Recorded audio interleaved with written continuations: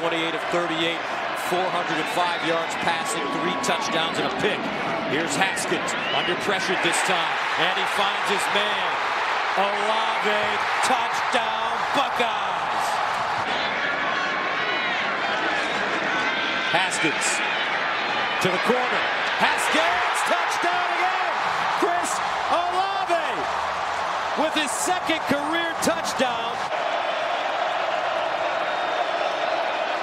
Patterson in the corner. Patterson, Nico Collins. Oh, what a catch! Touchdown, Michigan. And he put it on the money.